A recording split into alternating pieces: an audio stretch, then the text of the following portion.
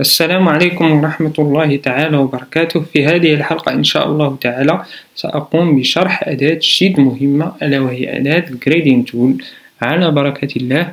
سنقوم باختيار شيب معين فمثلا نختار Rectangle Tool على سبيل المثال ثم نقوم برسمه على الأرض بورد بعد ذلك نذهب إلى القائمة الموجودة على اليمين برنامج ثم نذهب إلى خيار Gradient Tool. ها هو كما تشاهدون معي وهذه هي واجهة Gradient Tool. نقوم باختيار Gradient, Gradient معين. مثلا نختار Orange and Yellow. كما تشاهدون معي أصبح الشكل الآن بالجريدينت الذي يحتوي على لونين الأصفر والبرتقالي إذا أردنا تغيير هذا اللون إلى لون آخر مثلا فقط نقوم بالذهاب والضغط على هذا الزر والضغط عليه مرتين ثم اختيار لون معين. لا أدري لما لا يعمل معي. على العموم لا مشكلة. إذا أردنا إضافة لون إلى تلك الزرار فقط قوم بالذهاب إلى قائمة الألوان swatches ثم نقوم باختيار زر معين ثم بعد ذلك نقوم باختيار لون معين ثم جره نحو الأسفل إلى ال gradient tool كما تشاهدون معي فقد أضفنا اللون الأخضر. كذلك يمكن إضافة لون آخر مثلا نضيف اللون الأزرق ثم كذلك نضيف اللون الأحمر كما تشاهدون معي الآن. ثم نقوم بالتحكم في تدرج الألوان كما تشاهدون الأخضر.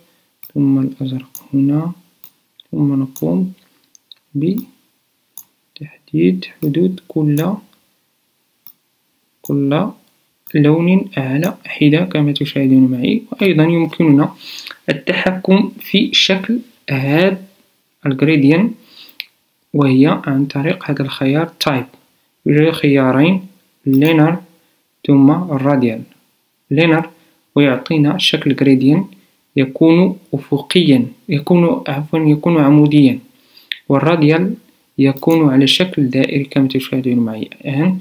هنا يمكننا هذا الخيار من التحكم في زاوية الجريدينت إذا قمنا مثلا اختيار زاوية خمسة وأربعون ثم نقوم باختيار ال linear كما تشاهدون معي الآن ثم نقوم بالضغط على خمسة وأربعين درجة كما تشاهدون تغير زاوية الألوان. ثم نقوم بعد ذلك باختيار أي زاوية نريدها. نريدها.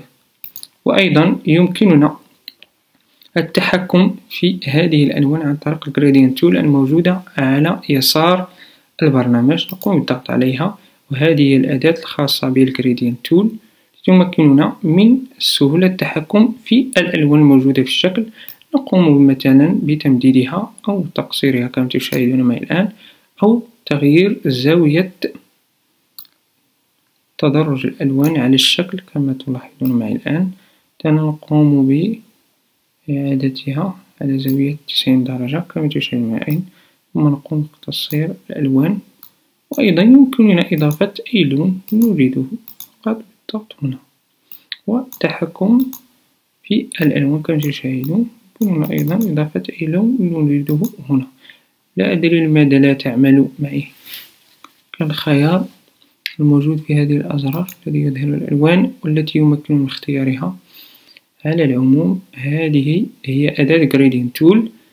وأيضا يمكننا الاحتفاظ بهذه الألوان في ال gradient tool عن طريق الضغط على هذا السهم موجود أسفل. ثم بعد ذلك نقوم بالضغط على هذا الزر Add Swatches. ثم نقوم بالضغط عليه. كما تشاهدون معي فقد أضفنا ألوان مختلطة أو gradient جديد إلى قائمة الألوان الموجودة في swatches. إلى هنا ينتهي شرحنا والسلام عليكم ورحمة الله تعالى وبركاته.